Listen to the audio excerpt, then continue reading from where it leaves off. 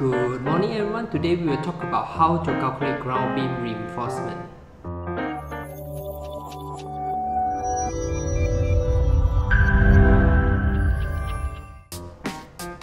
Welcome back to today's episode. Today we will talk about how to calculate ground beam reinforcement. Let's look at the picture here and as we can see the worker here is trying to prepare the ground beam before casting. This is a bar reinforcement.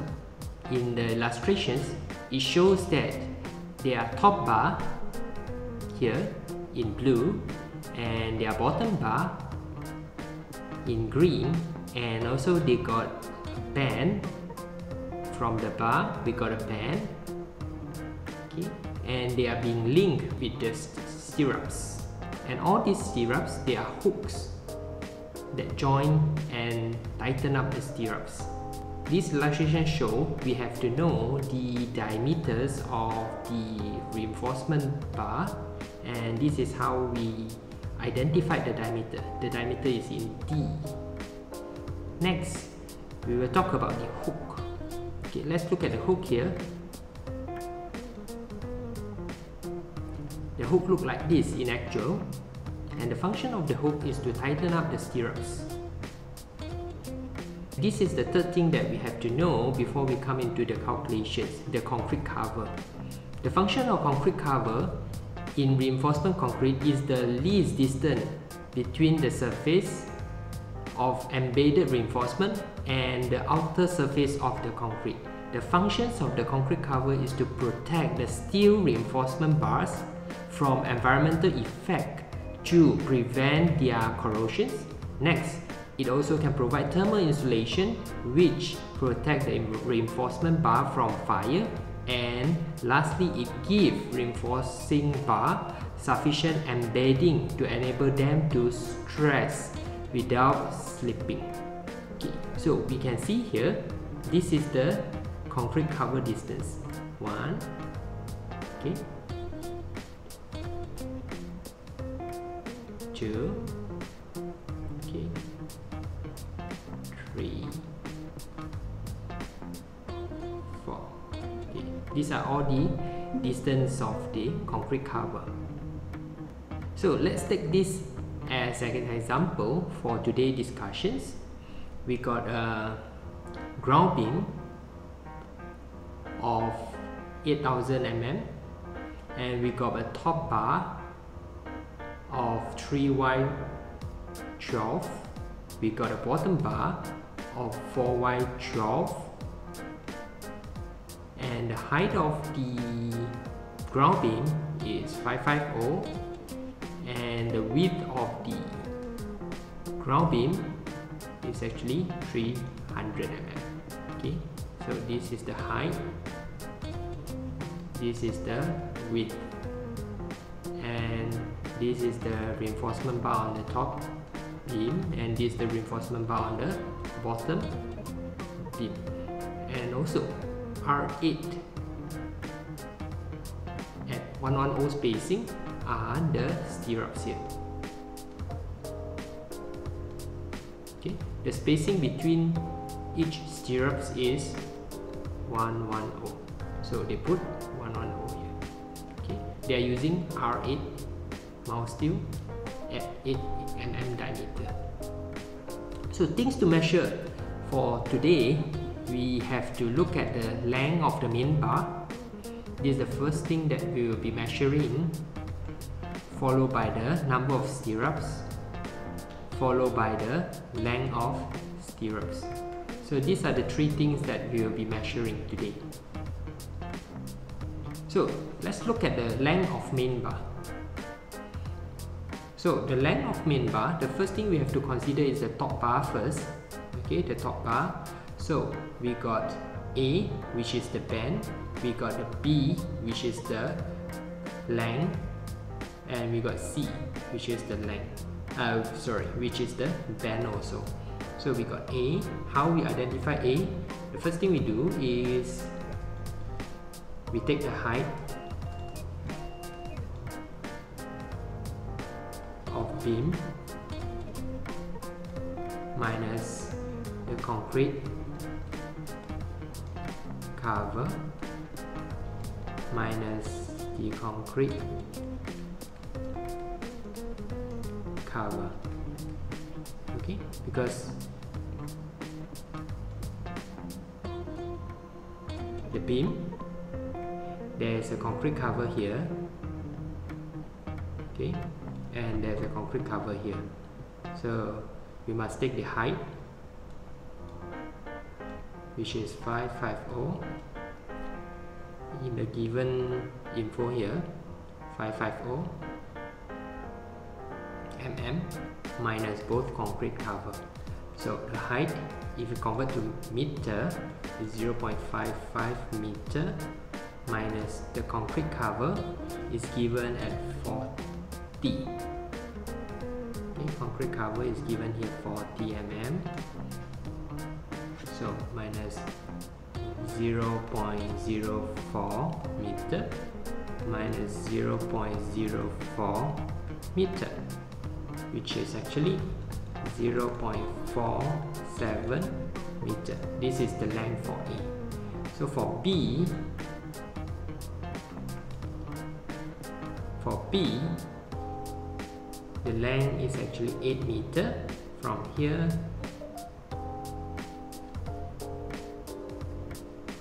Okay from here to here which is actually 8 meters. So 8 meters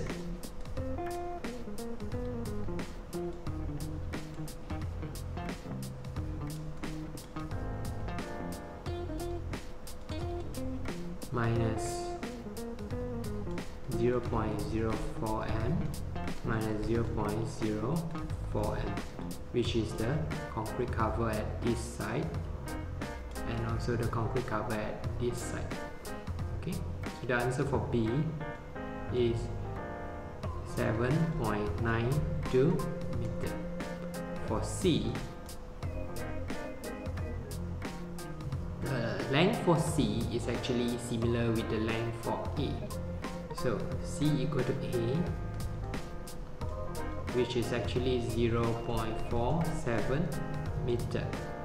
So the total length for 112 mm diameter main bar at top okay.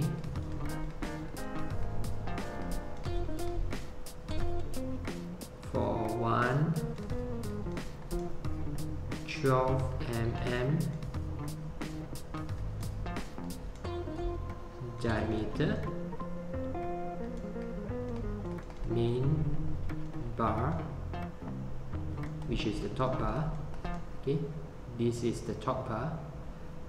We will calculate the bottom one later after this. So for top bar is 0.47 meter plus 7.92 meter plus 0.47 meter which is actually 8.86 meter. Okay. And from the drawing given okay we got 3y we got 3y so we have to time 3 so the total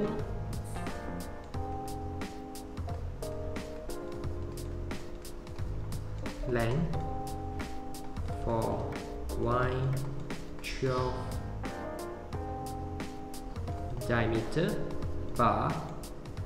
For top bar is actually 3 times 8.86 m which is equivalent to 26.58 meter. So this is for the top bar let's go to the bottom bar. Okay so same thing here. We will be taking a equal to height of beam. Okay because the beam height is here. Okay so the height of the beam minus concrete cover minus concrete cover. So both concrete cover here top and bottom. So which is actually 0.55 m okay 0.55 m is the height minus 0.04 m minus 0.04 m which is the concrete cover for the A so we will get 0.47 meter. For B 8 meters the length of B is actually 8 meters. Okay same goes to this. Okay length of B is actually 8 meter here. So 8 meters minus 0.04 m minus 0.04 m which are the concrete cover at both sides this side okay this side and this side okay. And the answer is 7.92 m 7.92 meter for B so for C C is actually A and the length for C is similar with A which is actually 0.47 m okay. So the total length for one 12 mm diameters main bar at bottom.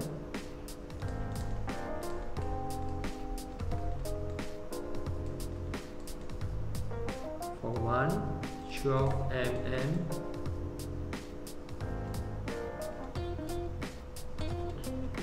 diameters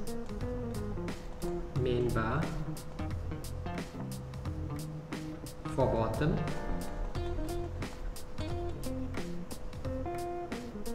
the answer is 0.47 meters plus 7.92 meters plus 0.47 meters which is 8.86 meters. Okay. And for bottom bars let's look at the given informations. For bottom bar we got 4y okay 4y 12 so 4y means 4 numbers. So total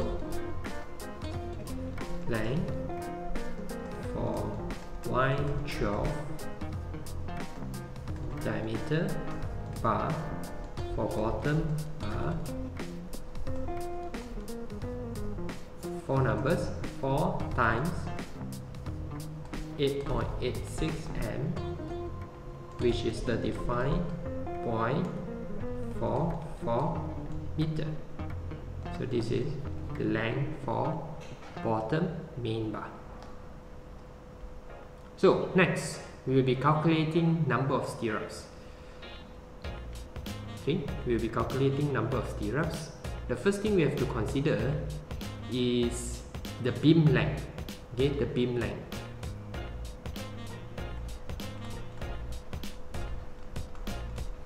Okay the beam length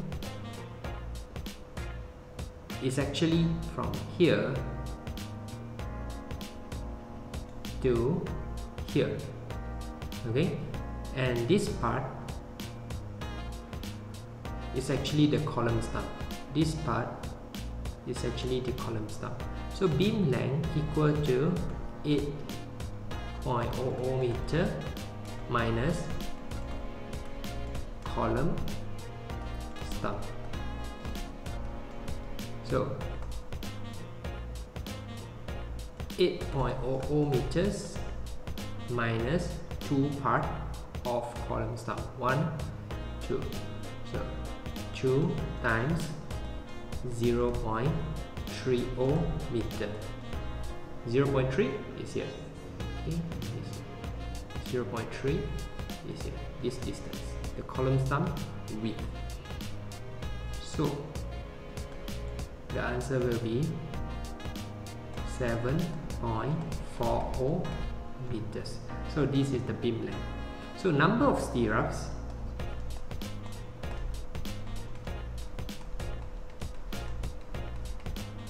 the number of stirrups is actually beam length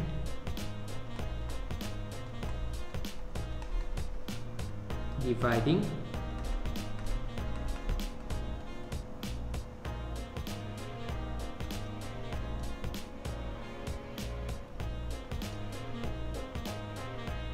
the center of center of 110 here. Okay plus 1 okay for the first part.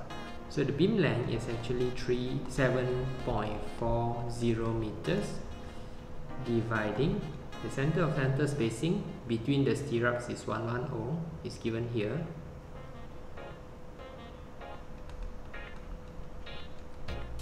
And you have to plus 1 so that you consider the first stirrups okay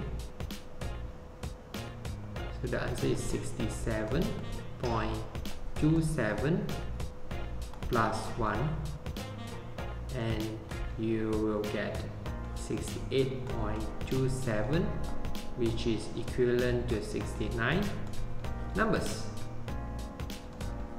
Okay so this is the number of zeros, 69 numbers. Okay later we will use this number to calculate the total length of the stirrups needed. So 69 we put it here first. So next we will talk about the length of stirrups the first thing we have to do when calculating length of stirrups is to identify the length of one stirrup first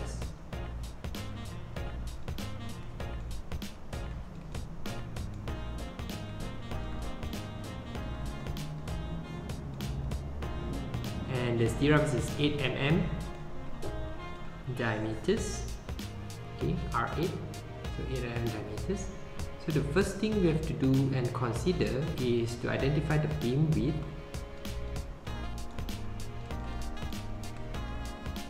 Okay we got two side. Okay one side two side. Okay so times 2 plus the beam height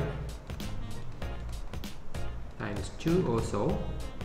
One side two side. Okay so the beam width is 300 mm 0 0.30 meters times 2 plus the beam height is 550 mm which is 0 0.55 meter times 2 so we will get 1.70 meters. So this is the length of one stirrups. But we have to consider to less the concrete cover. The concrete cover we got each side. For this length okay we have to minus this one two. For this length for the vertical length here we have to minus 3 4 for the horizontal length at top 5 6 and 7 and 8 so concrete cover we got 8 concrete cover. So we got 8 times 0 0.04 meter. The concrete cover is 0 0.04 okay so the answer is 0.32 meters. So the next thing we have to add the hook here. The hook. So we have to add hook of 24D 24D 24 times 8 mm so we have to convert to 24 times 0 0.008 meter. And we will get 0.192 meters. So this is at hook so the actual length of the stirrups okay we write it here. So the actual length of the stirrups is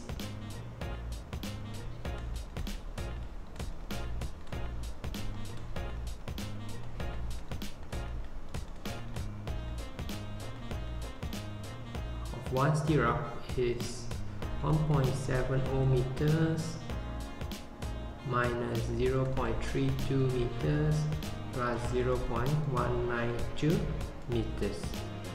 And we'll get the actual length of 1.57 meter.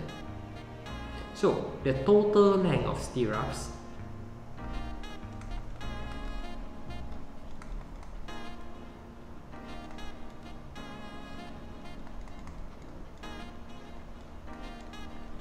we got 69 numbers which we calculated earlier. Here 69 numbers number of stirrups we got 69 times one stirrup length of 1.57 meters. We will get 108.33 meter. So let's conclude the conclusions that we get from these calculations for Y12 the weight is actually 0.888 kg per meter. So we got the total weight for the top bar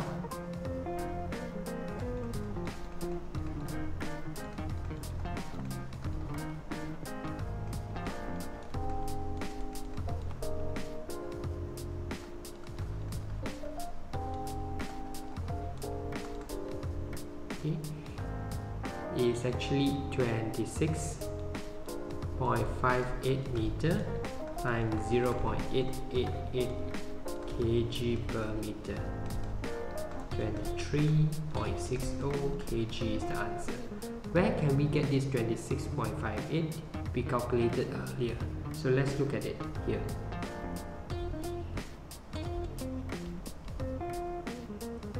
So this is where we get our 26.58 meter for the top bar length. Okay. And for the bottom bar,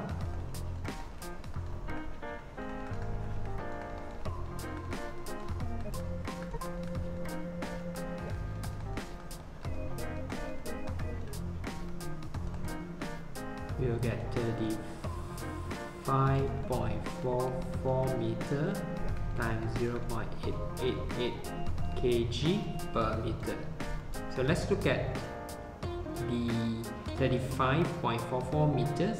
Where do we get it? We get it earlier here.